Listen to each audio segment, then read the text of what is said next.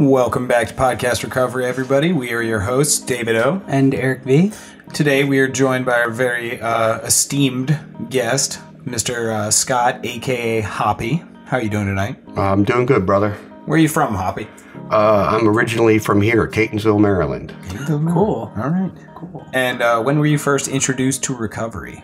Uh, probably during my second probation. What year was that? Let's see, that would be 1990. 1990. Yeah, 1990. Fantastic. And how long have you been clean and sober? Clean and sober since April 27th, 1994. 1994. Wow. So it's it's been a couple of days. by far our longest predecessor we've had on the on the show so far. Uh, I suspect that many of them are trying to do it the same way I am. If I can just stay out of my own way for today, I hear you. I, I'll probably be okay. Well, without further ado, I'm going to we're going to turn it over to you to share your uh, story with us. Uh, okay. Uh, I, I told you before this. This is I'm really nervous about this because I realize that this will be a share that people will be able to listen to if they are so interested Yeah. years from now. And I hope I make sense. Um, anyway, so my name is Scott. Uh, if I run into you at different meetings, I'll introduce myself as an alcoholic. I'll introduce myself as an addict.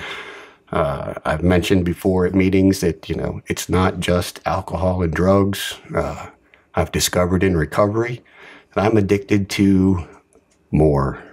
It's sex, money, women, speed, prestige, recognition, uh, accolades of my peers, accolades of people who don't know me. Bottom line, if I like it, I want more, and I want more now. And I really don't care what it takes to get it or who gets in my way. Yeah. The uh, I've shared at a few meetings over the years that uh, I don't recall prior to recovery ever looking at other people and feeling like I'm part of them or I belong. Uh, as far back as I can remember, I mean, I'm talking elementary school, kindergarten, five years old. That was like what 1840. Uh, I think it was a little earlier, but I remember we used to go out and ride the dinosaurs Yeah. at, uh, at about right. recess. Yeah, and you'd write on the slate with a chisel. Uh, the uh, the the thing was is that everybody else, everybody seemed to have an idea of what to do and who to say and how to play the games and who to hang out with. And Mm-hmm. you know when it came time to like move into teams during recess i'm used to being one of the last guys called on. Um, I, i'm i kind of i'm used to being in trouble. Um, i'm used to having my name pronounced wrong and hearing my middle name said a lot because that's what happens when you're one of those kids Yep.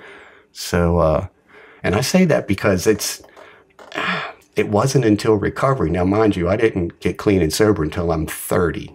So I spent a long time in this state of confusion. Uh, that problem got a little more exacerbated for me as I got a little older. Uh, my dad passed when I was seven years old, just before my eighth birthday. And uh, at that time, I don't think single parent families, you know, single mom families at the very first part of the 70s were very popular or common. I mean, we, didn't, we didn't have TV shows for that quite yet. I mean, No. uh, but it, it was coming around. And so I lived in a neighborhood where everybody else had brothers, sisters, mom, and dad. I had a brother and a mom, and everybody in the neighborhood knew my dad checked out. So that feeling of being different was a little bit more at that point. Oh yeah. Uh, a few years later, uh, we moved out to Carroll County, and I'm now I'm the new kid in the neighborhood. But it's a lot of transplants at this time, Yeah. middle '70s, late '70s, and trying to figure out how I fit in out there, which I'm really not good at. and I'm I'm out there for literally a year when we run into an issue with my physical health. Uh, I, I got injured during football, which was a blessing later on because that's how we discovered that I had cancer. And it was after this event that uh, I lost my leg Yeah. And I went through a whole bunch of health issues. And I usually tell people at the meeting if you're interested for more specifics, catch me afterwards and I'll be glad to fill you in. But now I don't even look like you people. Yeah. I was already kind of tall. Mm-hmm. I'm kind of awkward. I'm not very athletically gifted. You're a little Uh, gangly. I'm a little gangly, you know. I put on a few pounds since then, but I'm still on the thin side. And I just was, I was just physically a mess. And now it's totally and absolutely concrete. I don't feel like you people, and I don't look like you people. And, uh, Did kids make that apparent, like at the time? well, Because kids are fucking jerks. Well, I mean, I started wearing glasses in third grade because Yep, I can't see the board. Yep. So, of course, you know, and I don't even think about this until somebody asks me. I can remember being picked on and being called four eyes. And uh, because of my last name, I mean, I got picked on because they call you Starburst and Star Butt and Star Head. And Yeah. I've got and four eyes, and now I'm the one-legged star butt, four-eyed freak, and ah, and I and I had no smooth with girls to begin with. But when you're 13 and on crutches, and Yeah. by the way, chemotherapy knocks out all of your hair. Yeah. So puberty's here, but puberty can't even get into gear because chemotherapy says, no, you don't grow hair. Yeah. And you don't grow hair on the top of your head. It falls out in clumps. Mm. And then your eyebrows disappear. Oof. And your eyelashes disappear. Really? And you are, I mean, you are literally a freaking bald person from head to toe. wow. And uh, so I did. I mean, I, I looked freakish for a while there. Uh, the there was some complications to this event that uh, kind of changed. I don't want to say they're pivotal, but they're important to my story mm-hmm. because through the chemo, and I was supposed to do that for two years. And when I look back at what was going to be done to my body that we didn't do, and I hear people talking about chemo that they go through today, and I don't want to make light of it. It's a horrible process. I mm-hmm. would not wish it on people I hate, Yeah. but it's very, it's really a lot less now than it used to be because they just didn't know. Yeah. Um, I, I they, they, I should glow in the dark from Yeah. what they did to me, but uh, part of the process is is they they run you through a bunch of tests and they're like, okay, we need you to come back into the hospital because there's uh, an unclear spot on your chest X-ray. Uh, In 1978, an unclear spot on your chest X-ray is a mass station of cancer that's in your chest. It's in your rib cage, and there is no amputation for your rib cage. No. It is expiration time. Uh, and up until this point, I, I, I like many of our speakers that I've listened to, I'm a little ADD, so my story gets scrambled in my brain because I can't remember it all in order that I want to be clear. Um, I had drank prior to this. I drank when I was very little. My family still tells the story of one of my mom's earliest parties where he's a cute little baby. Look how well behaved he is. cute little baby, three years old, walked around and snuck drinks off of everybody's drink at the party. I'm lit. The tree and I are both flashing and twinkling. I am lit.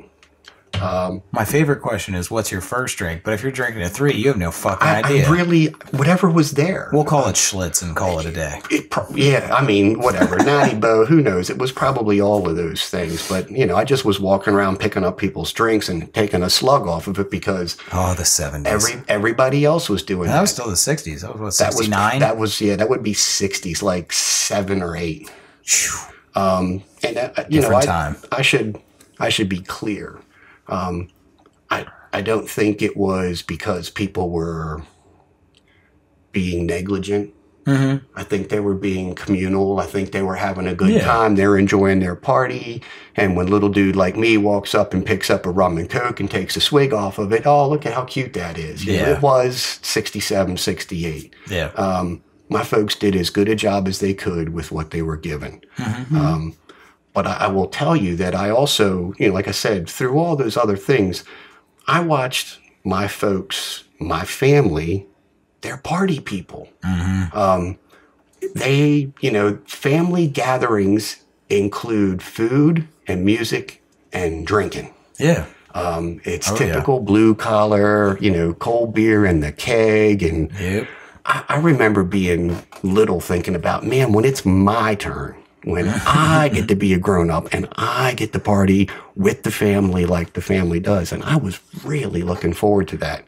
So let me go back to now this the, the, the cause and effect of the cancer and the chemo and so now I'm 13, getting ready to be 14. There's there's complications and issues, and something changed. I uh, this this recurring issue with having to go back to the hospital and follow up. You know how much damage has been done. One of the CAT scans indicates that there's brain damage. How much? Well, we don't really know. That's really not all that surprising. it, it, it, it's not, but when you're when you're when I was younger, it kind of flipped me out. Oh, I'm I mean, sure I, it's I can put terrifying. up. I, I can process it now, and I'm okay because is what it is. Uh, I don't have to be the sharpest knife in the drawer, I'm, and I'm okay with that. But back then, it was horrifying to think about what the future was going to be, um, and knowing that I'm already awkward and I'm already, you know, an outsider on the planet. So something I had been pretty diligent about being on the folks, you know, that I that I cared about. You know, you guys got to quit smoking cigarettes. They're killing you. They're terrible. I mean, we see these movies in school, and you know what? I'm not sure how long I'm going to get to stay. Mm. Tell you what, you guys just do whatever the hell you want to do because I'm going to do whatever the hell I want to do. Buddy of mine catches me where, like I said, 14, 15, 14 hey Scott, let's go buy some beer. Now, mind you, in Carroll County in 1978, buying beer is a 15 minute bicycle ride, Yeah. Which is a pretty cool trick for a one legged guy. Yeah. but we're going to go play Hey Mister at the closest liquor store, which is three, four miles away. It's going to take a few minutes on bikes and hills to get there. And, mm-hmm. you know, we do what we do. You know, a couple of dollars, get you six beers, yeah. go around the back of the building, go off the parking lot into the woods, start drinking beer. And Scott has this moment where he realizes if he drinks faster than you do, mm-hmm. I get four, you get two. Sucks to be you. and let me tell you, the second you figure that out, if you're if you party like I party, there you go. That's what you do. You just got to do everything faster, harder, and more. Yeah. Um, And that's what I did. And I don't remember whether or not that particular event was, you know, I- it, it wasn't like we were drinking Jack Daniels and it got that deep, warm sensation. I just remember thinking like it kind of made stuff slow down. Um, and the story that goes on in my head kind of came into focus a little bit and it wasn't quite so scary. And I felt like maybe we could do a little bit more. And I couldn't wait. Yeah. So that was 14. I, I, it wasn't very long after that that somebody said, Hey, man, you know, we've got a couple of beers. And then you hear, Want this? And you're like, Yeah. Yeah. Dude, pass that thing off. And, mm-hmm. Scott, pass the. Scott, pass that. oh, no, dude, I'm good. No, Scott, you got to pay. If I get, you know, I pull on it three and four times and you're only pulling once, it's more for me and less for you, and it sucks to be you. And that's the way my freaking my addict brain believes and thinks. Uh, it- un, undeterrable once it's started into motion. Yeah. Um, I I did not have a lot of problems uh, at that point in time. I, I did get in some trouble because this is high school. You know, Yeah. there's there's some. Uh, disciplinary actions related to alcohol at school, and of course, you know, I got uh, I got kicked out of school for being drunk at one of the functions. I got kicked off the bus for being drunk and high on there. I did I did all the crap that I've heard other people talk about. I went to school drunk. I went to school high. Yep. I was the recreational pharmaceutical distribution representative. That is an elaborate fucking title. Yeah, well, you know, it doesn't have any cool when you just say you're a dealer. Yeah, I- that's true. I just, you you added know, some style to that. I appreciate I that. I considered it to be rendering a service. There were people that wanted Yes. to do what I wanted to do, and I should be able to help that along and get to partake. Fucking a. That's exactly how I felt. So, uh, and it's funny because, you know, I never ever at that point considered the fact that uh, I might be becoming an alcoholic or a drug addict. At the point in time, it was, I was a partier. Yeah. I was a partier. Yep. And partiers partied. And that meant if it was booze, you said yes. If somebody busted out weed, you said yes. If the pills came out, you said two, please. And it didn't matter what they were. Um, and back in the beginning, excuse me, at the beginning, it really didn't matter. Uh, I, I did, I did discover that there were some substances that I did not enjoy as much as others. Uh, I did cocaine. You know, it was it was pretty prevalent at that point. Yeah. It's the 70s. I'm a pretty wound up guy to begin with. Yep. Uh, I don't need accelerants. I'm constantly, or I was constantly searching for the things that would take the edge off, that would slow things down, that would allow them to come into focus. Uh, I've shared, you know, with a lot of the guys that I've talked to over the years that there are moments inside of my brain that it's like being locked in the uh, the audio visual room at like Best Buy or something, and every television's on a different channel, and they're all turned up to ten, and it's deafening and it's confusing. But but these go to 11. Yeah, and I'm I'm just like I'm just trying to figure out any combination of alcohol and drugs and whatever to get like like just get them all onto one channel and then try to get the volume down to something that doesn't require screaming to be heard and then maybe we can work on the color and the contrast. And it doesn't even matter that the story is horrible still.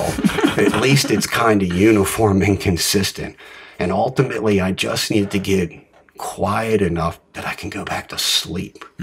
Um, and hopefully not be haunted by what goes on in my head while I'm sleeping. Because I, I'm I was never a very good sleeper. I, again, back to childhood, elementary days, not a good, sound sleeper.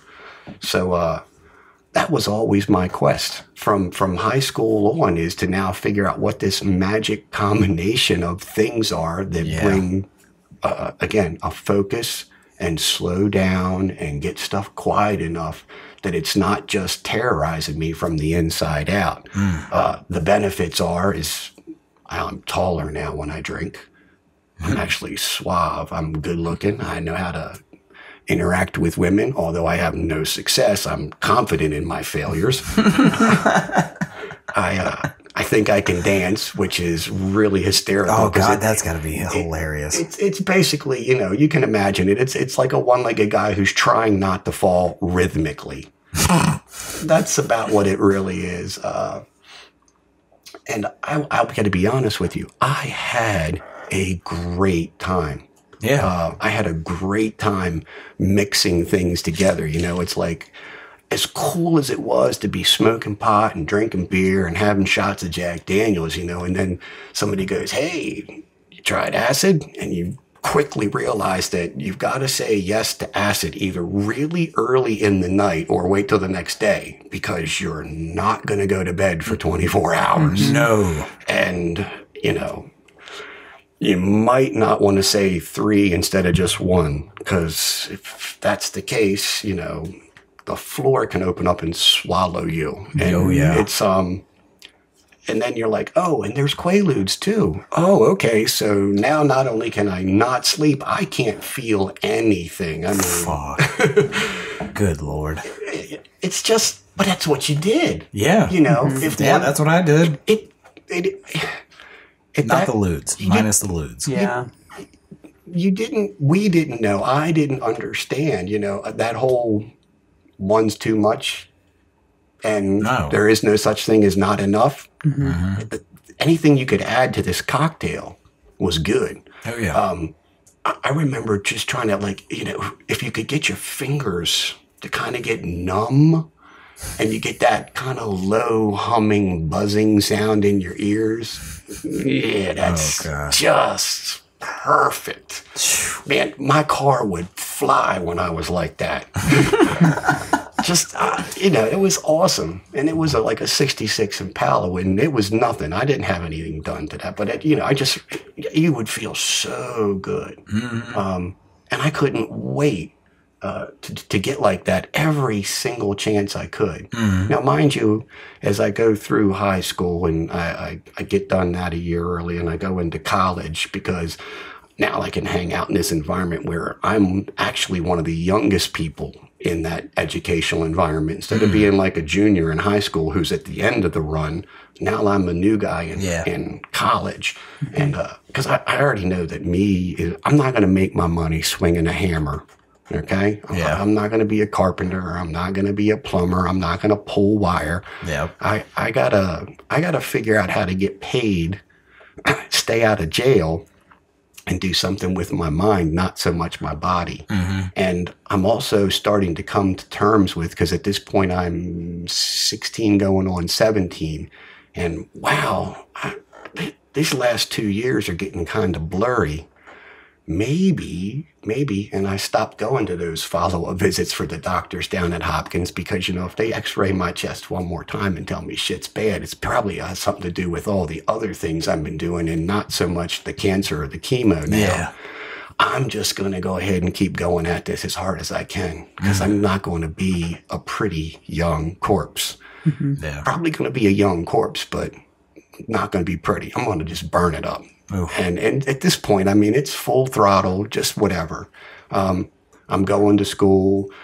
Trouble's becoming a little bit more prevalent for me. Uh, I, I think I dropped out of college three times. Um, and it was always the same thing because I performed poorly because I was too messed up. What college? Uh, I went to Catonsville Community College, and I, I, I did finally get out of there with an AA degree. And then uh, I went took about a year off to do some more partying and more research before I Yeah, fucking A. I enrolled at uh, University of Baltimore to pursue uh, the second half to you know the next two years to get a bachelor's degree. The other thing I found out going down to University of Baltimore, while it's pretty well known for the Robert Merrick School of Business, they also have a pretty significant law school. And you have no idea. Law school kids party. wow, man, there was beer and that Drinkers. freak. Oh my God. That's And- true. And you know, it's it's it's. I'm one of these people again. It's oh, okay. So we're gonna drink beer in here. That just means I'm gonna smoke pot outside of the building before I come in, and mm-hmm. that way I've got cotton mouth. I'll drink beer in here until I've you know either got to go pee or puke or whatever I got to do, and then I'll go back outside and get high and smoke some more cigarettes and come back in and drink more beer because I'm empty again. Yep. I, I got to tell you, one of the things I really like about recovery at this point in my life is the insane, insane things alcoholics and addicts say. Mm-hmm. And I know that when we say them, they seem like totally reasonable, Oh, yeah. most brilliant thing Yeah. I've ever done. Fucking genius ideas. But but in recovery, I look back and go, man, how stupid was that? yeah. Oh yeah. you know, I, I, remember being at a party and getting horribly sick. Mm-hmm. And I mean, throwing up until I was crying. and as soon as I could get my stuff back Oh, yeah. together, I'm like, oh, my stomach's empty. I guess I can go back to drinking now. Yep. Yep. That's that's just ridiculous, Oh, God, I've done man. Let me get a let me get a breath mint and a beer. And like when I was growing up, that was like a badge of honor. It was a fucking puke and rally. Like that's what it was. It's it, it is. It's one of those things. It's like if, if you've ever gotten used to waking up with fluids on your clothes that may or may not be yours, and you're okay with that, we got a chair for you. Yeah, we got we got some meetings for you, buddy. Yeah, because because regular normal people, normies, No, they don't have any idea what that is, you know. And we kind of get used to that behavior. It's like, mm, it smells like pee. I, I hope it's mine. You know what I mean? I really, I'm hoping I just, you know, lost my balance and peed down my pants leg. And I'm hoping somebody else didn't pee on me and I can't remember being peed on. Yeah. But it's entirely possible. Yeah. Um, so, uh, anyway, the, uh, the, the disease is really having its way with me at this point. The uh, the trouble through school. Um, I've I've I've I've moved up and gotten some decent uh, some jobs, and I'm trying to get through this. But at the same time, I'm trying to uh, remain employable and pay my rent and get grades. The I, I find myself, you know, the weekends start on Thursday, sometimes Thursday morning or Yeah. Wednesday, and they don't end on Sunday. They end Monday, usually late in the afternoon when the hangovers finally wore off. Tuesdays are really rough.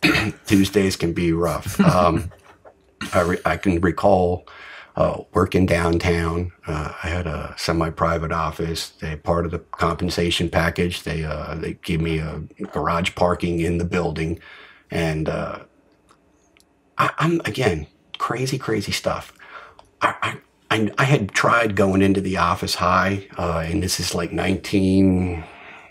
This is 1989, 88, 89, and computers were in the office. I know it seems ridiculous, but they were Oh, yeah. literally monochromatic computers Yep. where with like two floppy drives. Oh, And when you're hungover or high or both, because being high when you're hungover hopefully takes the hangover down a notch yeah. um, Yep. And you're trying to look at a spreadsheet and the numbers are going like this. And you can't see this on the radio but i'm shaking my hand like uh like parkinson's or something. And it's just you're like oh my god i am gonna throw up just looking at this monitor. Oh God. okay. Ugh. it's bad enough being hungover. Scott you can't get high when you're hungover at work. Yeah but now it's five o'clock and I have to drive four layers or four levels up out of the parking garage. And why would I think that it's okay for me to be smoking pot from the fourth level down? Anybody behind my car is going to smell that. Oh yeah. But I didn't. You Can't a see shit. it. Yeah, You don't give a I don't shit. give a shit, man. Fuck that uh, guy. It's after work. You Yeah. know what I mean? And then I found guys at work that wanted to get high. Like, let's go play frisbee over on Federal Hill and go smoke pot after work. Just, it's insane. Yeah. You know, and I, and I, I think back about these moments that just like, I, I have no idea how I really expected to be able to keep that job Yeah. after a while. You know, you can put a shirt and a tie on me, and that don't make me any better. Yeah. It, it was just crazy at that point. The uh, I picked up my first DWI, and I'm on probation through at this point. And my employer has been made aware that there's a problem, but I haven't been. I haven't been told that I have to go do any meetings yet, and I've got a DDMP, and I What the fuck is that? Uh, at the time, the DDMP was a drunk driving, I'm sorry, DDPM, the drunk driving probation monitor, Oh. or the DDMP drunk driving monitoring program. And Okay. I, He had a probation some sort of acronym, yeah, and it was specific to alcohol. You know, Okay. it wasn't criminal activity. It's it's not that there isn't criminal activity in my history. I, I You just just got away with it at that time. I I think, believe it or not, I think a lot of people would see me coming and realize that stuff just wasn't okay, Mm-hmm. And they would cut you some slack. Um, I, I I have I have to my advantage been misperceived as being a war veteran, and I use that to every to every bit I could from that. Um, people have thought I'm much older than I am, and I've used that to my advantage.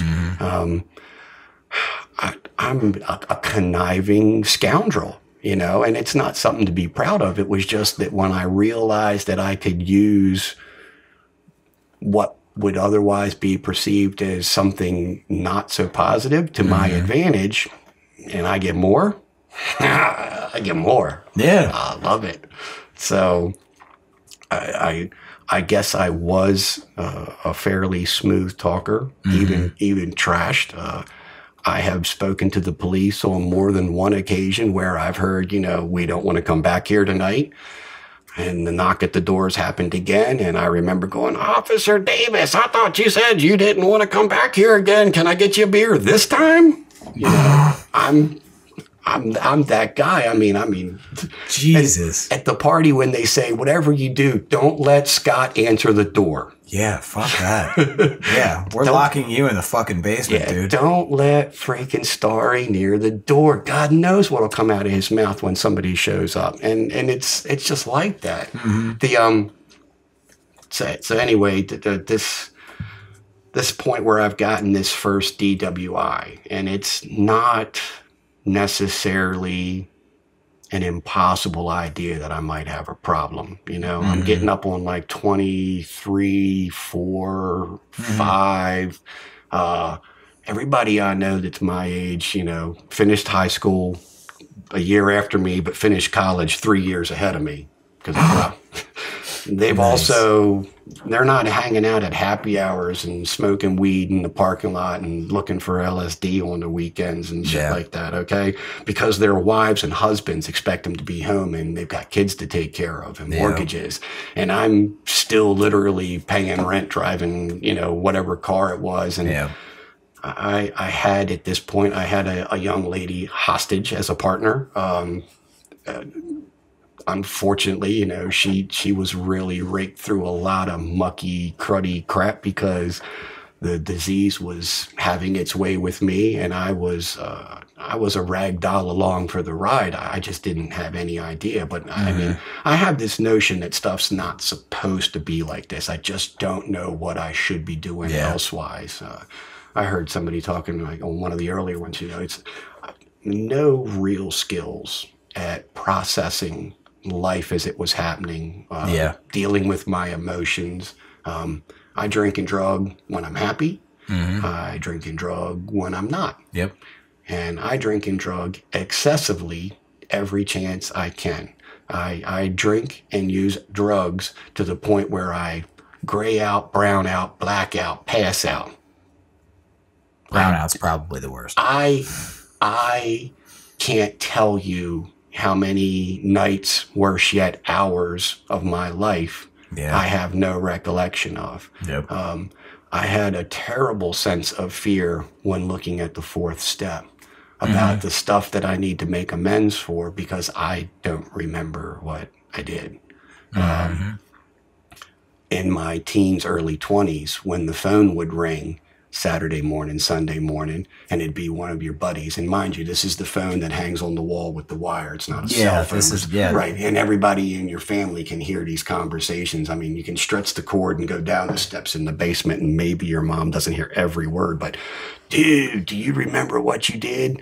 And the stories were awesome because you know I did this ridiculously wild, crazy crap all the time. You know, my decision making skills suck when I'm Yeah. clean and sober. Yep. You add alcohol and drugs, and they are legendary tales of what it was that I didn't die from this time. Yep. The uh, and when you're you know when you're 16, 17, 18 years old, those are great because I'm I get to relive all the the, the highlights of the night Oh before. yeah, you're full on Superman complex at that point. when you're 25 It's a little bit different. and the phone rings and you know the conversation's going to start with, dude, do you remember what you did last night? That's a different tone. And you don't want to hear that story. Hmm. And then the phone rings and you know that's what the phone call is going to be. And the phone makes the ringing of the phone makes you cower Oh, because I don't want to hear that shit. Hmm. I, I know what it's going to be. I mean, I don't know the specifics, but I know, I know it's, I know it's about what I did last night. Mm-hmm. I know I don't remember. It's probably going to be bad. Let me see if my car's even parked out back tonight. Mm. You know, did I, did I park my car here or did I? And that's, that's probably about the point where it's like, well, you know, I didn't think I was going to be here these last 10 years. And this this idea of having as much fun as I want to have all the time, anytime, without anybody telling me, no, you can't do this, I got to find a way to reel this back. because this is starting to suck. You know, this this this woman I've taken hostage is almost always pissed off with me for something stupid I said did, and I don't always remember what it was. Um, I, I'm getting a lot of looks from people at work. Um, there's comments about how bad I smell, which it shouldn't be surprising. I haven't been home in three days. I mean, I was smart enough to leave a shirt in my vehicle to change shirts, you know, like a blue shirt on Monday, a white shirt on Tuesday, and then put Monday's blue shirt back on Wednesday. Yep. you know, but they haven't been laundered. No. Neither have I, you know, and my, my breath has just got to be horrendous because, I mean, you don't brush your teeth if you haven't been home. I mean, who keeps a toothbrush in their vehicle? I wasn't that smart. No. I I had I had parties to go to. I knew at least a half a dozen after hours clubs in Baltimore. All I gotta do is just bang on the door, that little slide. Hey, come on in, dude. It's good to see you again. You know, because I'm I'm literally two thirty in the morning. I'm leaving a bar, going to the uh, you know basement. He's going to fucking speakeasies in the mid 80s. They were everywhere. They were everywhere. I'm sure. uh, and and dude, the, the the caliber of these people, you know. Oh. in re- in re- They were the dregs. you know what, man? In recovery, again, one of these things we learn about is the the our lower companionship. Okay, and I, I remember early on in my recovery thinking poorly of these people as being my lower or lesser than companionship. It, I probably I probably was clean and sober mm, ten or more years before it finally hit me. I'm somebody else's lower or lesser companionship. Ooh. You know, Well, thanks for fucking out my mind. well, God damn it. it's just you know, I, it, when I when I got to recovery, I was a train wreck, dude. I mean, I was a, a horribly inflated ego and low self esteem, and I with no idea what I needed to do. Uh, I got my uh, second DWI in 1990, I guess it was, and I li- I mean, I was days days from having my first probation ended and I'm at work and the phone rings and it's uh it's Bob who I believe is passed but I believe passed sober. Bob Bob gets on the phone he goes Scott you got arrested last night. I said yeah. Goes you're on probation dumbass. You need to come in right now. Bob I got a lot going on today at work. I said can I come in and see you tomorrow? And he goes he says, What part of you don't understand of you're on probation and you got arrested? He goes, If you don't come to my office now, I'm sending sheriffs into your office and they're going to arrest you and handcuff you and you're going to jail. You're going to jail. Yeah. Uh, okay, well, I mean, I got to talk to you. He says, Scott, you really, all you need to do is tell your boss that you're leaving. And if they fire you, that's, that's a whole nother issue. You absolutely have to roll up here to Westminster and come see me now Yeah. that was that was the next event that got me into an outpatient program and the first time i got introduced to uh, the steps and going to meetings and uh, i remember even before sitting in front of the judge and talking to a lawyer they're like you know it's really going to be beneficial for you if you can uh, establish a pattern of trying to stay clean and sober you know attend meetings and get this little stamp and get this signed and i had a little blue piece of paper and well, that, that was a lot. That was a lot to process. Yeah. When I, I, you know, I'm 26. I'm not done. I'm not done. No. You know, I, I'll grant you, I've got to figure out a way to kind of rein this back in and get this into a little bit more manageable process because I, I would like to stop talking to the police officers because they generally don't care for me. Uh, I think I think they're all a bunch of obnoxious tools, but it's you know it's their job to be that way. I just don't want to see them, you know. Yeah. And you know, if I could get my girlfriend to stop hating me, you know, that would be nice. And if I could get my employer to to not be on me because I am frequently tardy, frequently drunk, frequently hungover, and clearly not at a uh, higher standard of productivity, you know. that would all be good Yeah. um, and again, arrogant and egotistical.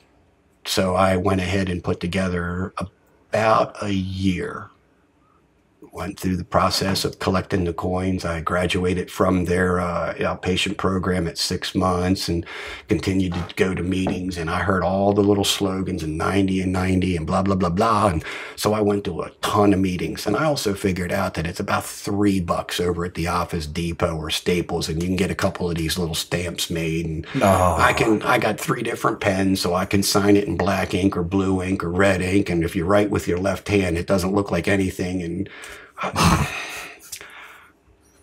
collected coins all the way up through a year. Didn't bother to get a sponsor, didn't bother to get a home group, didn't bother to read a book, didn't mm-hmm. bother to talk about a freaking higher power, just mm-hmm. white knuckling all this stuff through. And hey man, it's see, it's not a big deal. I got a I got a one year coin. I'm- Yeah. I am king shit on Turd Mountain. and I watched Rusty Wallace's car go tumbling through the infield on a because I'm a racing guy. Yeah, he's a NASCAR and that guy. that sent me over the edge. And a year of not drinking, and I l- immediately had to have a Miller Genuine draft because Rusty Wallace went end over end in the infield. And next thing you know, I'm going back for a second six pack, and I'm I drank 24 beers before Saturday or Sunday was over. Hmm. And then a buddy of mine calls the next day and I'm feeling rough. And he's like, Well, you know, I got, yeah, bring that on by. Let's do gravities and I'll get some beer and we'll put on Ren and Stimpy and doesn't matter, but dude, let's just do that. Yeah. Um, and unfortunately, and I, and I do mean this as unfortunately is, is because again, it's the, uh, the disease is having its way with me and I'm trying everything I can at this point to manage this. Uh, I've gone through the process of, well, I'll only drink beer and I won't drink whiskey and I won't do any drugs. Two, I'll only drink whiskey, I won't drink beer, and I won't do any drugs. Or I'll only do drugs, but I'm only going to smoke weed, or this time I'm only going to take these Valiums.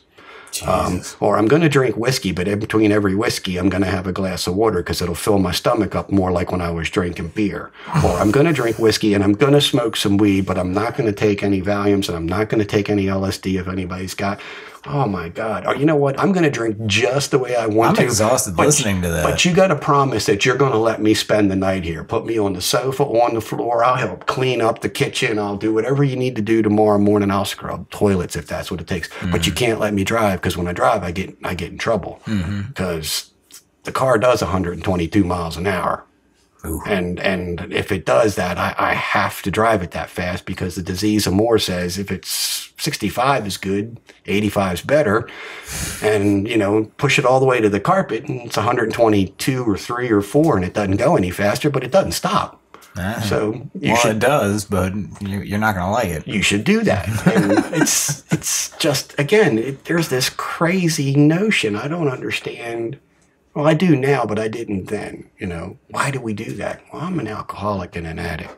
Mm-hmm. And that's what we do. Mm-hmm. That's that is our nature. It is our natural state to do wildly inappropriate things at all of the wrong times mm-hmm. with no with no acknowledgement of the danger or oh, consequences. That's that's what we do. And think it's totally fucking normal. Awesome. Yeah. It's not even even, even yeah, It's even better than awesome. normal. It's fucking awesome. Awesome, dude. It's Yeah. awesome to be driving this car into the red line and hearing the tires squeal as you try to corner. Ooh. Awesome. It's awesome that the fact that I I have think to Eric's hold a speeder. it's, No. it's awesome that you have to hold the steering wheel with one hand and cover your eye with the other. Oh god. That's dangerous. You know, it's awesome that at least it. it's January and it's cold, so you can open up the window and the cold air will help keep you awake. I think that's a myth. That never worked. What? It's a the cold. Open up the fucking window when you're drunk. And Yeah, yeah, cold that's- blast. You you just got a cold mean, when you're like No, you just got a cold drunk. Yeah. When you're like nodding out, that totally helps. Oh, oh yeah. Maybe. So the uh, th- this this this is you know this is where it's gotten bad, and I've I've uh, I've been kicked out of my apartment. I've been let go from my job. Uh, the that woman that I had hostage finally figured out how to escape, and that was devastating. So of course, what did I do when that hurts? you fucking drank a drug.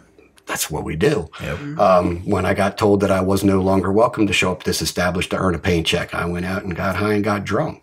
Uh, when I got kicked out of that one place, I went to another place where the people who lived there partied like I partied. So Yep. As long as I can add to the party fund, we're good. Yeah. Um, and I'm stuck Yeah. because I'm still me. And I remember what those meetings were like. And uh, I hated those people.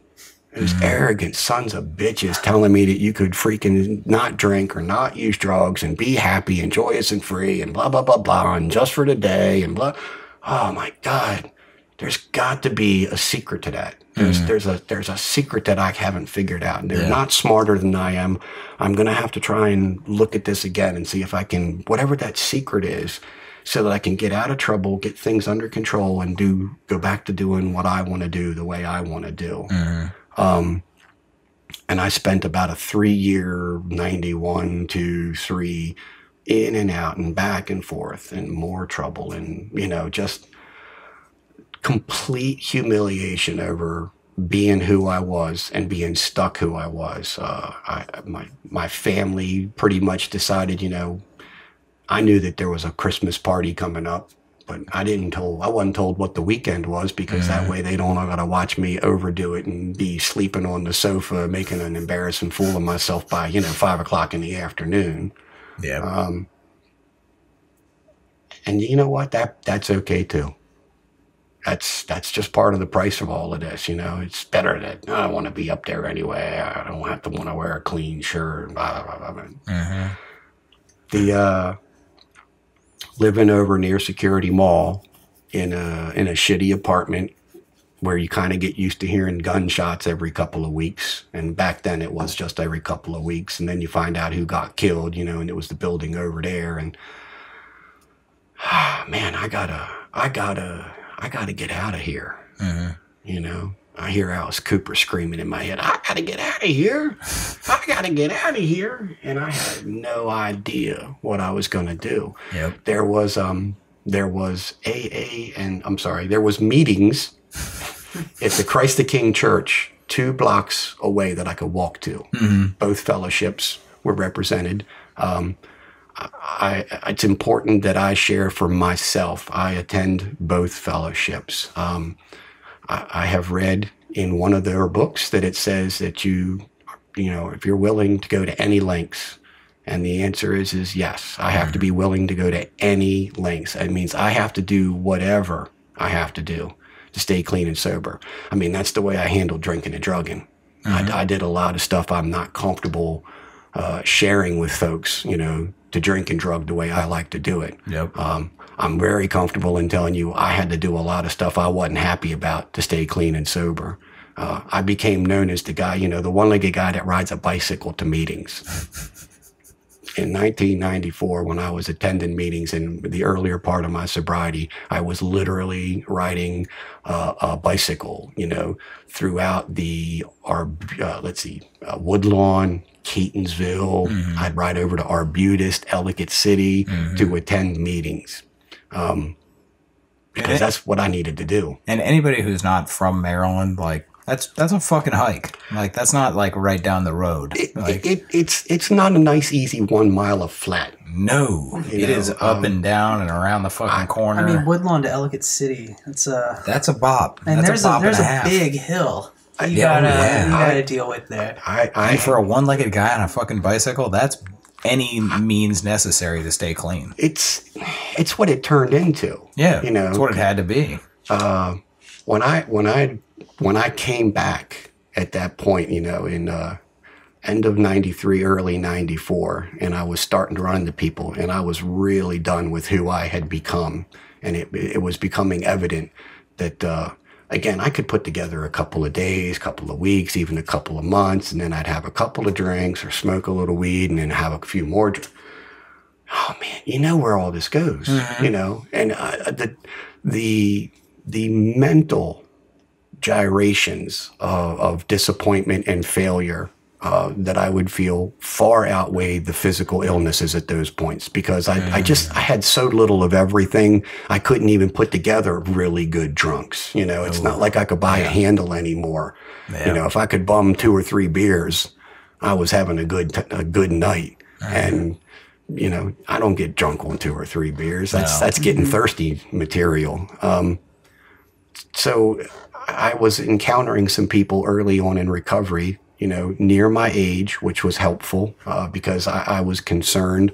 Um, I, I didn't want to be in a room with a bunch of 40 year old gray haired guys in trench coats talking about how great it was not being drunk today. Yeah. Ironically, I'm now one of those gray haired old guys in the room who tells you he's happy not to be drunk today. I don't think I've seen you in a trench coat. I don't wear trench coats, but it, it's it's it was just one of those things, you know. Oh, Um, yeah.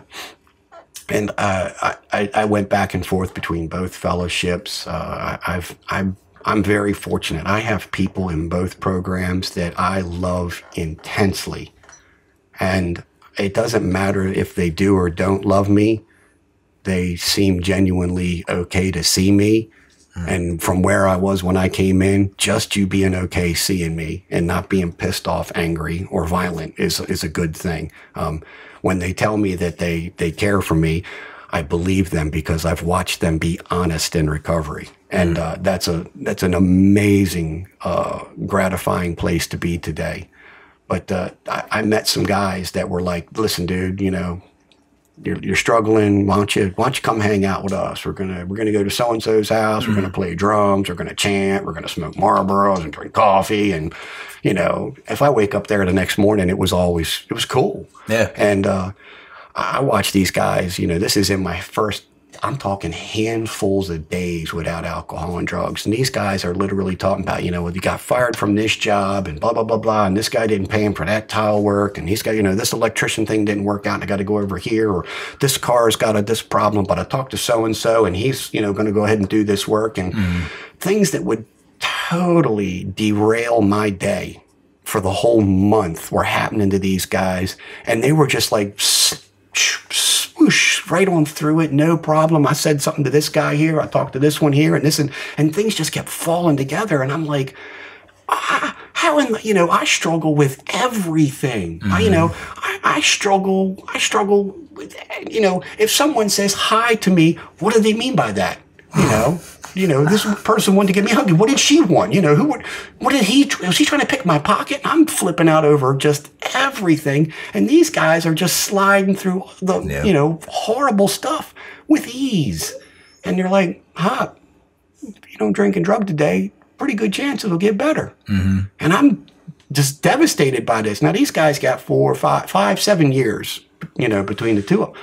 Mm-hmm. I don't understand this. You know what I mean? If you don't drink or drug for today, Hop, it's real simple. We do a couple of things, and this is what we do all the time. We don't drink, trust God, clean house, and help others. Hmm. And, and you've heard me oh, say yeah. this before. Those you know, eight famous words. JR catches me and you know, he says, it's simple hop we don't use. We trust God, we clean house, we help others. He said, that's what this program's been teaching us for years, you know, and it works. And mm-hmm. I, I, I'm, I'm going to be honest with you guys. I struggled immensely with this whole trust God issue.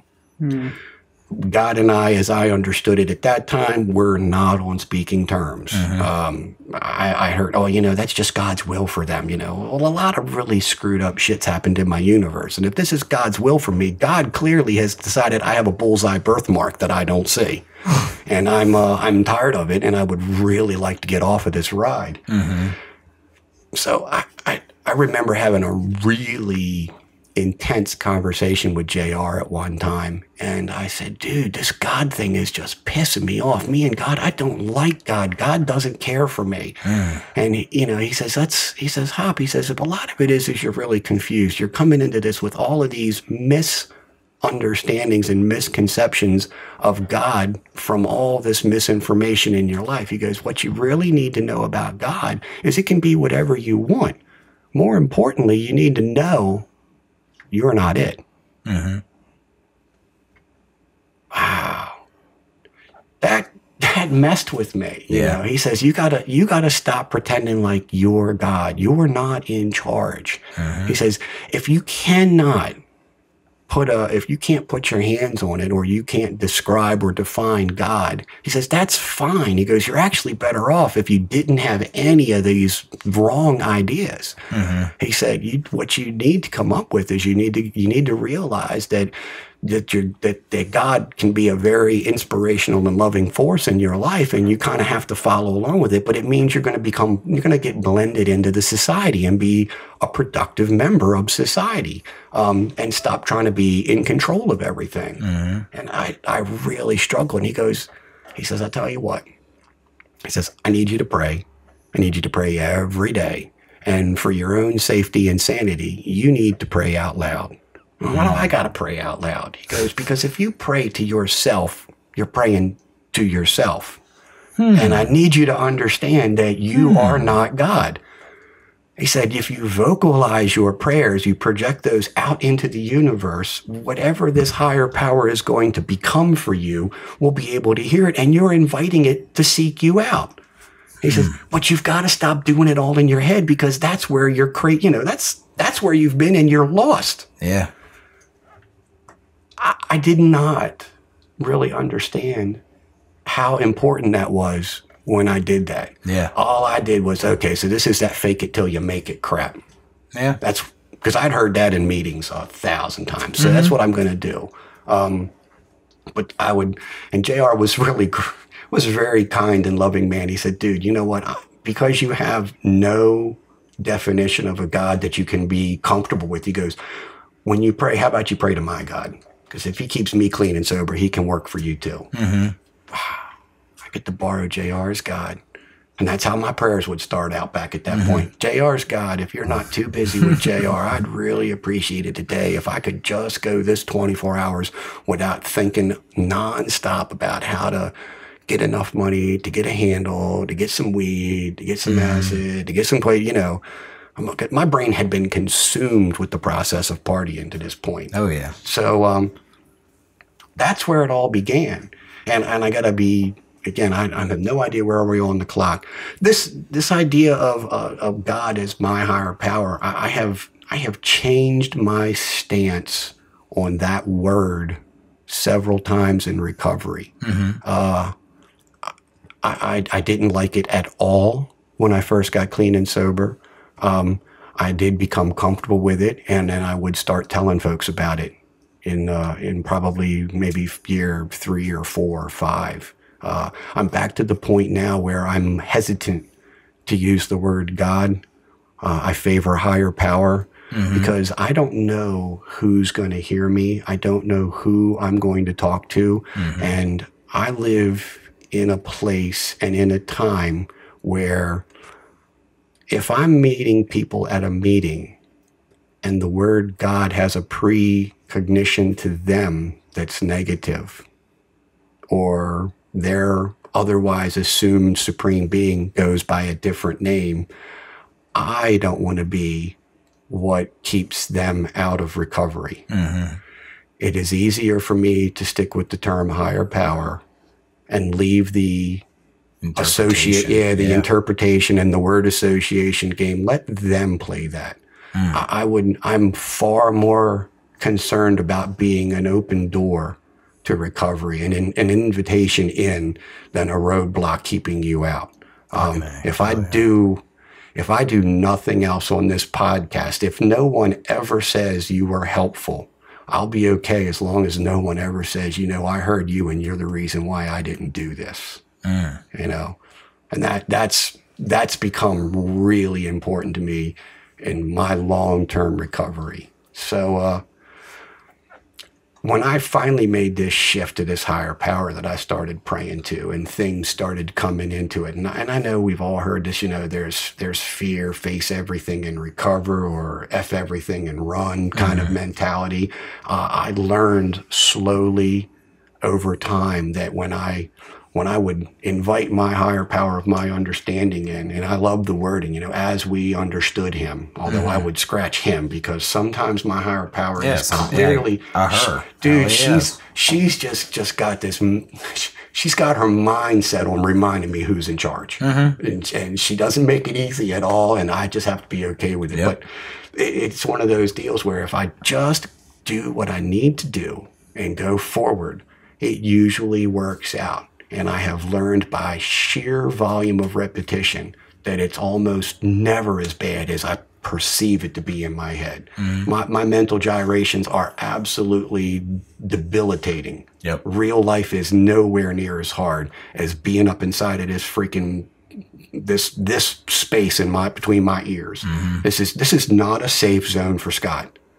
Scott requires adult supervision at a minimum, and when I'm when I'm working my program and I'm on I'm on program, I have introduced and invited a supreme, uh, a supernatural force to help me get through this. Because I, cause I said earlier, you know, drinking and drugging is what I do naturally. The only thing that I know that can combat my natural behavior is a supernatural force. And that's what my higher power is. It's a supernatural force that says, I know, hold my hand. Come on. We're going to be okay. I know it's really scary. I know it is. But that's because you keep thinking about you got to do this by yourself, but you don't. Mm-hmm. I got you covered. And not only do I got you covered, I got all kinds of people in my army that I gonna I keep bringing them to you Yeah. one after another. And, you know, they're beautiful people if you stop judging them by their outsides and judge them by their actions. Mm-hmm. And, and I, you know, I, I, I went through a bunch of years in my recovery in the beginning where I was extremely uh, judgmental of young people in recovery. You know, how how bad can your shit be? You're 18 years old. You still live in your folks' basement. If you you know you don't got to worry about paying the gas and electric bill or a car payment mm-hmm. or none of that shit. You don't even need to have a job. Your parents will take. How bad can your shit be? Yeah. You know, I'm 27 years old, man. If I screw this shit up, man, I, you know I'm gonna get kicked out again. And I had to get past all of that. You know what I mean? How bad could it be? How, look how pretty you are. All you got to do is smile and everything's going to happen positively. And I had, you know, my higher power takes and smacks me with a two by four and me and says, dude, did I put you here to think that shit? No, you're supposed to be trying to stay clean and sober. And by the way, help somebody. You're, you're, this judgmental crap doesn't help nobody. It certainly doesn't help you. Yeah. You're thinking you're more than again. Uh, so, so over time, I, I, I have, you know, if again, if I can be in a position where I can be helpful to these younger people coming in, that's that's really great. Uh, I need to, I need to be very realistic about where where I am and what I can do. The uh, I, I made a vigilant process of working through the steps when I finally got to it. Uh, JR was giving me grief at one point about, you know, it's coming up on, I don't know, seven, eight months or whatever, and you got that waltz kind of feel going on. We've talked about, you, you know, the unmanageability, we talked about the insanity, and, and I could go on about the insanity of this. That's that's a whole Oh, yeah, podcast right there. yeah, yeah. And this decision to turn your will and your life over.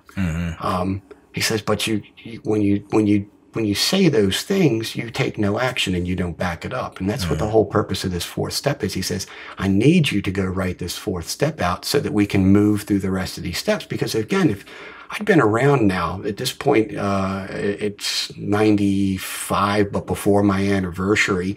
And the idea that from first being introduced to the program in 90, and I've, I've attended plenty of meetings and I've, I've bothered to recite the steps enough times, and it says to practice these principles in all our affairs. And he goes, the only way that anybody can practice these principles is, is you have to go through them. Mm-hmm. As good or as bad as it is, you have to go through them. And then it's repetition is practice.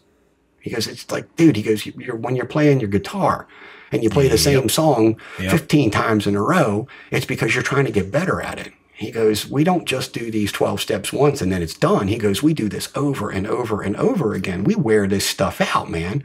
He goes, this is this is the program for living life every single day. And he goes, the, the, the more adept you become at identifying where you are in this process, the quicker you can readjust and move forward and be okay. I uh, I succumbed to his his strong suggestions on a Friday night. I went upstairs and I, I burned through a box of cigarettes. I wrote down probably what is one of the crappiest fourth steps ever. Um, that I thought for sure when the home office in New York got it, I would get an F. Um, but uh, Jr. was pretty pretty uh, compassionate. And Saturday morning we sat down. We we put a pot, a pot of coffee together, had a couple of Marlboros. We said a prayer before the fifth step, and we sat down and we hashed out this fifth step one Saturday morning. And I don't remember. At some point, we finally like it's clearly getting near time for more coffee and get something to eat and take the hour break that's talked about uh, in the in the big book. You know, for an earnest and honest reflection of how real and true that I was to this point in time.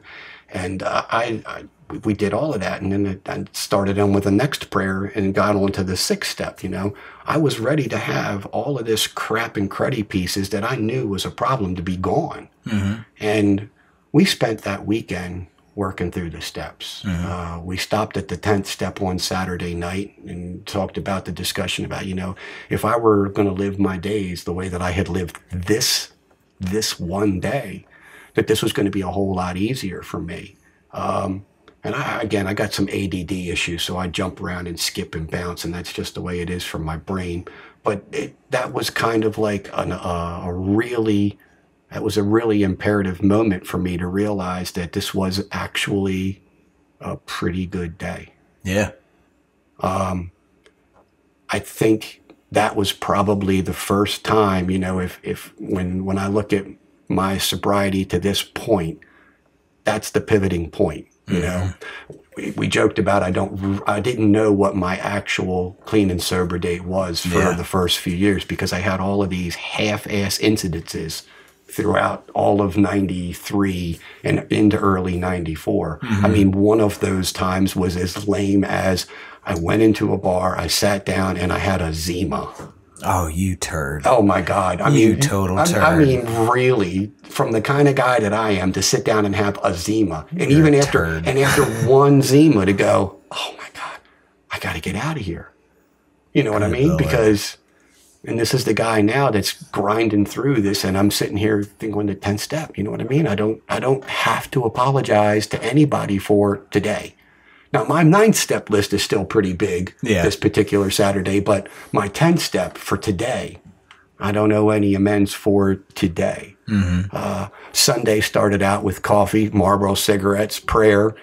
Uh, we discussed the 11th step, you know, through prayer and meditation, sought to improve our conscious contact with God as we understood Him. And I go, higher power, but practice, you know, 12th step. JR said, Oh, that's right. By the way, I've, uh, I'm secretary in the noon meeting today, and you're my speaker. What? That's a dope fiend ass way to do He that. said, he said, "Yeah, dude, you're you're my you're my speaker today." Yeah. He said, "I've been with you since Friday night, and if you don't realize that this has been a spiritual experience to this date, what does this twelve step tell you to do?" Mm-hmm. It says to practice these principles in all your affairs and carry this message to the alcoholic addict who still suffers. Mm-hmm. You're my speaker. You need to tell somebody. This is how this is this is part of that don't pick up, trust God, clean house, help others. Help others. Hoppy, you need to help others. You need to tell them because there's somebody who wasn't clean and sober yesterday, doesn't have any idea how you did that. And you can tell them. That was, uh, like I said, that was probably back in 95. I had a really crappy job. I've been very lucky in my sobriety. Uh, I, I, I've- I've since then found gainful employment, and I don't have to rent, you know, crappy apartments anymore. Um, I, I haven't taken a woman hostage. I, I was very fortunate to find a woman that would. She voluntarily would like to share my days with me. Um, I'm blessed. She makes every single day better because she's willing to share her days with me. Um, she also expanded my family circle by when we found out we were pregnant, you know, instead of having a normal reaction and running in fear to get away from me, she Yeah. told me the truth. And my kid turned 20 this year. Um, and that's, you know, it just blows my mind. In recovery, I have found it within myself to be honest with people and to share what it's been like to get to here. And along the way, um, people have reached out to me to say that they've got issues with food and drugs, alcohol, gaming, mm. those kinds of things. And in an indirect or more direct way, I've been able to help them get to the different fellowships that work for them. And mm-hmm. I can go to any one of those meetings and be really comfortable, mm-hmm. which is scary. Yeah. It's it's really scary because you know every time I, it's like if it's got twelve steps and ends in an A, I probably am good. uh, and and I'm only sharing that. I don't. I'm, I'm not looking for credit or accolades. It's an absolute blessing that that it tells me that other people see something that they think is worthwhile, and I've been just uh, immensely thankful. I've gone to their anniversaries. Uh, some of them have five, six, seven, eight years now. You know, whether it's alcohol free or drug free or you know, this food issue is another one that really boggles my mind. Or they've been game free for three years again. You know, and you're just like, man, I didn't have anything to do with that other than hopefully when they went searching, I was a vessel or a channel that said, here's how we get to that. Yeah. You know, and then I get to watch, I get to watch their miracle happen. And that's been uh, amazing. I- I've met quite a few guys through the guys that I've had the blessings to work with. You know, if you think your fourth and fifth step is freaking hard, wait till you do a fourth and fifth step with a sponsee. And now it's, you know, you're supposed to be the person who's got a handle on this. And you're like, man, I'm learning way more about myself through my sponsee's fourth and fifth steps than I did when I did it myself, you know, when I did Yeah. mine with my sponsor at the time. Uh, and then you get, I'm old enough that I got grand sponsees. And uh, the, these men will reach out to you I'm one of them. like like like like you've like you've got something and i'm like man you know all i've got is today um, i'm really honored that you would turn to me and ask me but we're, we're, we're going to be talking about the same stuff still. We're, we're not mm-hmm. going to pick up. We're going to trust our higher power. We're going to clean house and we're going to try to help others. And if we just keep doing that really simple process we might actually get good at it. Yep. on a on a bad day, it's an it's a challenge, and it's not easy, and stuff doesn't go well. On a good day, I feel a little more comfortable about it. On a great day, it's effortless, and my higher power just amazes me with what I am allowed to see and be a part of. Mm-hmm. And I have to keep reminding myself that if I just don't get in my own damn way, pretty good chance I'm going to get through this day and have one like it again tomorrow. Yeah. And that's mm-hmm. That's a lot of what I've been doing lately. And I, I don't have any idea how long I've talked. My God. Um, an hour and ten minutes. Holy Jesus. I think that's a good stopping point. That's a good stopping you- point. Okay. just- If you're done, Yeah, yeah, that's this motherfucker said he had seven minutes in him before he started this. Before we started recording, he's like, "I got seven it's- good fucking minutes pretty in me." consistent though, right? Like everyone doesn't. Every, yeah, everybody's like, oh, I, I'm not gonna be able to talk at all. And then it's just boo, boo, boo, boo, boo. No. Um. All right. Fantastic job. We're gonna have, we got some questions for you. Always little little questions. little Q and A. Do you want to go first? Yeah, I think I'm gonna go first.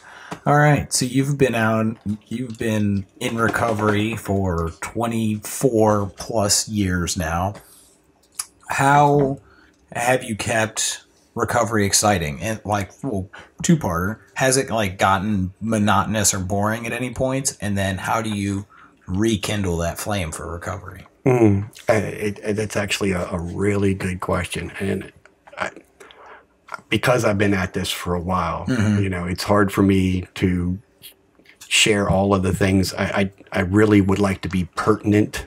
oh yeah. Um, I, I got a little, uh, I got a little out of joint with recovery and meetings probably around year three, but that was about the time I met my now wife, and um, when we started running together, hanging together, you know, it uh, one of God's gifts, my higher power's gifts, became a little bit more enjoyable than going to meetings. And within a year, we're living together, and 18 months, we're expecting, and within two years, I'm a dad and a new job. And I, again, now I don't pay a rent. I'm working on a mortgage, you know, and uh, for a guy who doesn't have his driver's license at this point, you know, we're paying on a car and, and I'm very involved with that. And the next thing you know, um, my ninth anniversary has gone by and I haven't been to a meeting since my third. Ooh. I, uh, I, and I'm only saying that because I don't suggest it. I'm just admitting to that's what happened. I got very caught up in, you know, new girlfriend, new, new role as a dad, role as a homeowner, uh, a new job. I mean, I had, I changed jobs, I think three times in that period where, you know, uh, and every time it was an escalation of responsibilities and earnings, you know, because I'm a dad now, I really Oh, need yeah. to, I need to be doing these things. Um, and I, I worked, you know, at one point, I, you know, 55 hour weeks became fairly regular and they're just, you know, it's more important to spend time with my wife or my kids than go to meetings. And, you know, I'm not drinking or drugging, but so when I got back, finding a home group to fit, f- reconnecting with a sponsor that worked, um, and being available to work with people coming in uh, really helps. And again, as I've gotten older and my responsibilities, you know, my role as parenting has decreased, and I find myself able to do other things. But it's it's a changing process. Um, Oh yeah. at 24 years, my home group is actually a big book study group. Yeah. I'm, I'm literally back at the very beginning of where I was, where it's far more important me, to me at this time to be reading out of the original source literature. Yeah. The, the big book, the 12 and 12. Um, I'm helping other people who are coming in to study this literature. You know, I'm working with guys from a home group that I've been in now. We've 20, I think I'm actually the youngster, 24 years. Uh, Ed's 25 years. Gene's 26 or 7 years. And we- I'm studying from the book to keep it, you know, I, I don't want to say fresh, but to, to stay relevant and pertinent. I don't want to get caught up on any of this today crap that doesn't matter. Staying clean and sober is what's important. To be the opportunity for somebody to come in, this is where this is where you start. So Yeah. Fantastic. All right. I'm turning it over, turning it over to Eric. See what he's got. Let's see. So okay, so uh, with like the cancer, right? And um, that was at a young age. And obviously, you mentioned it a little bit of how how the acceleration mm-hmm. of you know when you're 14, you know, you started and it was just like, well, fuck it, and like you were like, we're just gonna see how far we can take this. Do you think that you know, and, and obviously you can't go back in time, right? This is the hand you were dealt right. but how much of a part do you think the medical condition led to your acceleration to where your addiction took you? Ah, that's I you know it's it's really strange. Uh, I've I've known a couple of men talk about the point where there's a story where a cucumber becomes a pickle, and uh, I don't you know if you guys haven't heard that one or not. I I I, I don't know. I don't know that I was ever a cucumber. I think I, I think I might have been born the pickle. Um, I I heard I heard your like I said I was listening to yours earlier and and it's really funny. We we've got similarities in our stories as different as we are in age and oh, yeah. location. You know I, I remember this time of the year Halloween I remember running from house to house to get as much candy and knowing that if I didn't put it into my pants pockets or shove it into my socks that my mom was going to get that from the basket. And that was going to mean that there was candy that I would be rationed out instead of eating the way that I wanted to, which is like, you know, fucking the seventh and eighth Snickers in a row is way better than the first four, five, six. Hell yeah. And and that's, you know, I don't know that at seven years old you're supposed to think about eating, you know, eight As Snickers in a row. fucking candy as possible. It's- Hell it's- yeah. Love candy. So I, I don't I don't know that the medical condition it's it's contributory. How's that? I- Okay. It it it almost made it easier because mm-hmm. you know I'm not going to retire.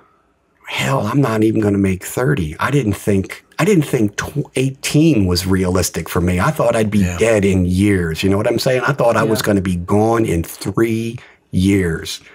And you know, turning 18, turning 21 and then turning 25, you're like see, and I've been really good with my language because I know at some point my wife Worse yet, my son is going to end up getting a hold of this. and I, I really am trying so hard to not curse like I do naturally. You've, Yeah. you've 'Cause I been think- pretty well, actually. Yeah, you Because- really well. well, it's it's not easy, you know. No. But I'm concerned about who may hear this later. Um, it just it was one of those deals where you did you you you said fuck it, and you put the pedal to the metal, and I didn't think that I would ever have to go. Wow, ten years has gone by already, you know. Hmm. I was gray by forty. I'm not sure whether it was the medical condition or the way that I lived, but you know, Both. contributory. All right, so this is a, you know, I mean, I think cocktails are the best personally. From my using days, I I really don't think about one drug. I think about a cocktail of drugs. Yes. Um, Yep. Oh yeah. So, out of curiosity, what was your favorite cocktail? More More? You- now, more and now. Um, I, I I like cold. Um, I like a little bit of fizzy because you can burp, and I like to burp. You know what I mean? And if, if you're gonna if you're gonna drink something cold, whether it's a, a beer or a rum and coke or one of those fruity Hawaiian drinks, uh-huh. you might as well freaking have a really nicely rolled joint. Or, or you know, do some bong hits just because. I mean, bong hits are bong hits, man. I mean, if you Yeah. think smoking a joint's good, bong hits are better. Yeah. They just they just are. You know, my, my stepfather trashed at least four different of my US twos while I was living at his house. And when I was when I was a little older and poor, we we did gravities out of a five gallon bucket with that three liter. Oh, yeah. Yeah. The, the Gatorade bottle. No, the three oh, liter three soda, liter soda bottle. Yeah, because Oh, the two liter bottle's not big enough. It's not we, big enough. Right, we can no. do gravities with the No, three we, liter we can bottle. get more smoke out of this motherfucker. Yeah, exactly. Three liter. I. Oh yeah, they have three liters. They're like fucking Dollar General. Oh yeah, they're crappy soda, Yeah, they're but you, shit you poured that shit out. You, Yeah, you were fuck literally, the soda. Yeah, you were literally getting it for the bottle. That's all.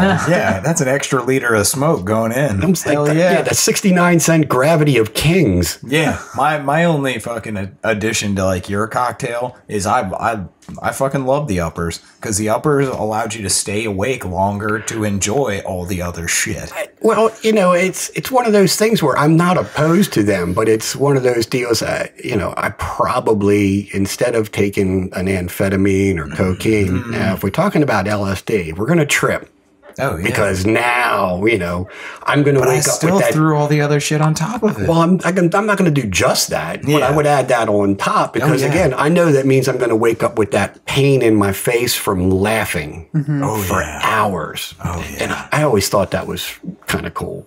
yeah. Another crazy thing we think. So, are you not stealing my question? I'm not. I'm not gonna. I'll steal it. Fuck it. Okay. So, how in recovery has your ma- has your addiction manifested itself? Oh, dude. You know, and again, I've heard this question on the other people down here, and um, without, boy, we'll go forever. What's the big I would one? I would say I would say similar to what you've heard before. Um, as a as remind you now that at the time now thirty years old when I first got Mm-hmm. here. I I think the uh, the exploration of sexuality and you know like you can't get enough Oh, yeah. early on in recovery. Um, and there's this whole sex and recovery is so different from sex and active addiction and drinking. Oh, yeah. Um, you know, physically it's different. Uh, emotionally it's different. Uh, psychologically it's different because you're, you know, th- this may be the first time ever Mm-hmm. That you're actually present yeah, in that you're situation. that you're involved with this person, and there's actually like you know, I care about this person. You know, this is this is this isn't just for me to get my yayas. This is for me. I want to be invited back. I want I want her to feel good. You know, I want her to think. Yeah. So that's probably another one. I, I, the retail sales I've heard about. Uh, Oh, yeah. Me personally, as I've gotten a little older, I, I find myself uh, interested in relive, reliving moments of my childhood. I, I Alice Cooper concerts. I like to go to a lot of concerts. David will tell you I, I do. I do go to a fair amount of rock shows. Um, I like big and loud and fast and crazy. Um, I do model rockets because they remind me of when I was younger, and I like seeing shit burn and fly. Um, yeah, I, fucking A. I've recently gotten back into uh, model railroading because I just love trains. Um, I, as a as a grown up, I enjoy the relaxation of smoking cigars. I probably probably smoke more cigars than my cardiologist wants to know about, but I'm not going to tell him about this podcast, and I will lie to him when I see him next. That's spiritual. yes, there's you know, it's progress, not perfection. I I am. I just need to be a little better today than yesterday, dude. Okay, that's So, uh, last question. sure. Um, and to preface this, obviously, each step is important in its own way. Ah, But let's say that you have to choose one that is the most influential in your life. Which one do you say is that step? Wow, that is um. can't say all of them. Well, you but you but you but you know who my sponsor was for the longest time, and Mike would kill me if I didn't say all twelve all the time. So Oh, I I'll say that. Um, Oh, we'll get Mike on here sh- we'll get, sooner we'll or get later. Mike on here. Um, I, you know, I really, I, I don't, I, I'm not really comfortable telling you there's one that makes it more. Nope, gotta choose. Not, no, not no that cop makes outs. it more, just one that you've utilized Or a personal more, or a personal favorite. Okay, then I'm going to share this with you guys. Uh, in the uh, in the big book, there's the set of tenth step questions, and if you get yourselves in the habit of taking a look at those questions and asking those questions of yourself every night, you will become aware of the things that I don't want to get caught up in today that are going to have to make me answer those questions later this evening that mean I've got more work to do. I mean, mm-hmm. I'm inherently lazy as a human being. So my awareness of I know, those shit, you only put one shoe on. my awareness of those questions and not wanting to have to answer them in a manner that requires follow up and work later puts me in a state of mind that during the day, when something happens that's out of skew with the way that I think it should be, I, again, when I'm lucky, when my day is going really, really well, there's a pause. There's this fraction of a second that happens between the event and my reaction. And then that fraction of a second, I might not have to act out and be a dumbass. Yeah. Um. I might just be able to be kind and compassionate and loving towards other people and maybe even towards people that might not deserve it if I thought too long about it. So there is the way a lazy guy takes this step and and uses it to his full fullest advantage. I just I just don't want to have a whole lot of work at the end of the night. I would rather be able to think through those steps and say, "Awesome, dude. I appreciate this one. See you tomorrow." Yeah, yeah. So 10 it is. You're I'm gonna- recognizing. I'm gonna, I'm gonna go with ten. All right. Ten's a ten's a great answer. Ten's- yeah, ten's a it's ten's a really answer. good answer. All right. Anything else? No, We- that's we it. good. We're good, All man. right. Awesome. Well, we would like to thank our very esteemed guest, Yes. Hoppy, aka Scott, for uh, joining us today. Luna's even trying to Clap get up track. Yeah, dog's trying to get it on the clap here. track. Yeah. All right. Come see us at a meeting, please. It's Yeah. your it's your butt you're saving. Oh, absolutely. And uh, here at Podcast Recovery, we are aiming to expand the scope of support for recovering addicts. Accessibility and convenience of helpful services is paramount to combating addiction. We work to bring the message of recovery to every addict, wherever and whenever it is needed. We believe that a powerful voice of recovery should be obtainable, practical, and at the touch of a button. Every addict deserves to hear a message of hope, and Podcast Recovery is here to provide it. All right. Well, uh, yeah, follow us on Facebook. Check out our, our page, our website. Uh, we're available on your podcast apps, on Twitter. Share, like us, follow, subscribe. Do all that shit. Do all Yeah. the do all the social media stuff with us. And uh, anything, any any final words? don't let me be what keeps you out. Fantastic. All right.